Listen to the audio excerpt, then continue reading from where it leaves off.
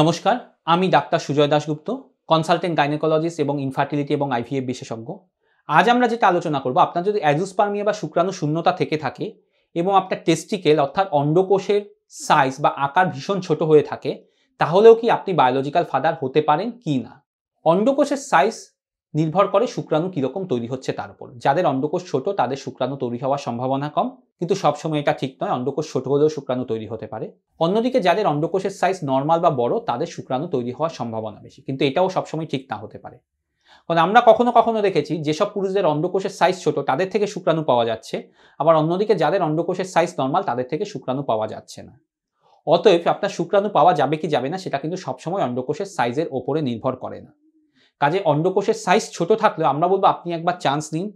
আপনি অন্ডকোষের সাইজ ছোট থাকা সত্ত্বেও আপনি বায়োলজিক্যাল ফাদার হতে পারেন।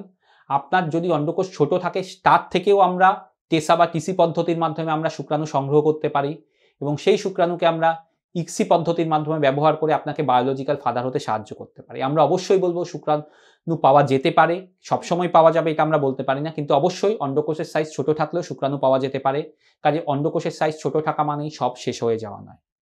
আমাদের ভিডিওটি যদি ভালো লেগে থাকে লাইক করবেন। দয়া করে আমাদের ইউটিউব চ্যানেল এবং ফেসবুক পেজ লাইক এবং শেয়ার করবেন। এবং আমাদের সাথে যদি যোগাযোগ করতে চান, আমাদের ইউটিউব চ্যানেল অথবা ফেসবুক পেজের মাধ্যমে যোগাযোগ করতে পারেন। ধন্যবাদ।